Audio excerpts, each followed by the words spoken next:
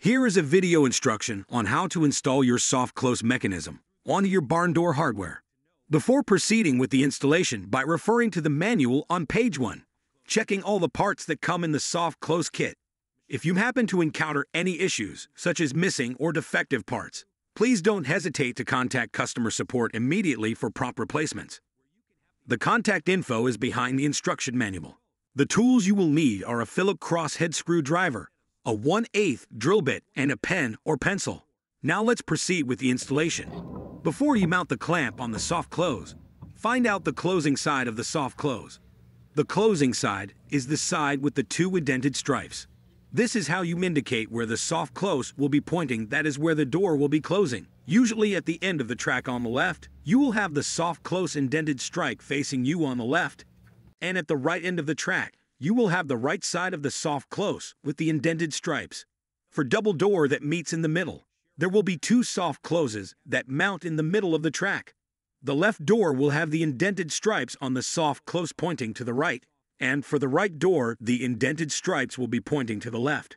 Install the clamp onto the soft close with the machine tapping screw with the screw going through the soft close and tightening on to the clamp thread holes making sure you install this on the correct side of the soft close on where you will be installing this on to the track. Clamps will be installed facing you. Repeat this on both ends of each soft close. Now slide the door to the close position to where the soft close is at and place the actuator between the tongue of the soft close on top of your door.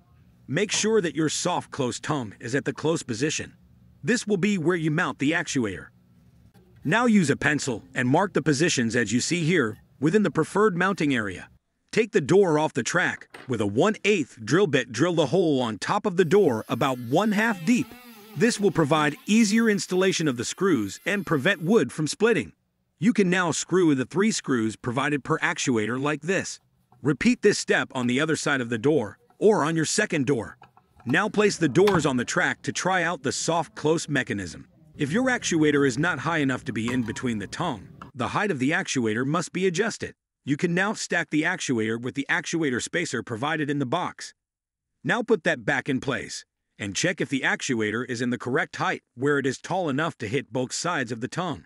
After adding the actuator spacer and you find out that it is still not tall enough, you can now raise the actuator piece with the thinner Allen key.